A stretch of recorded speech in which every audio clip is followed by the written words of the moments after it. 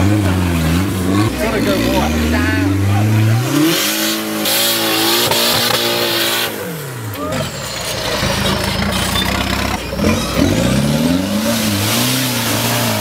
stage they just started late, uh, and then uh, now they are running uh, hopefully quite smoothly. And uh, there are four stages here, and all four are technical winching assessors. I the first is performance. We have a very good performance in our winch, and of course the price is the right price. We are not very cheap, but we, we Right compared price. to the one is very competitive, and I think the quality is the major major uh, the reason.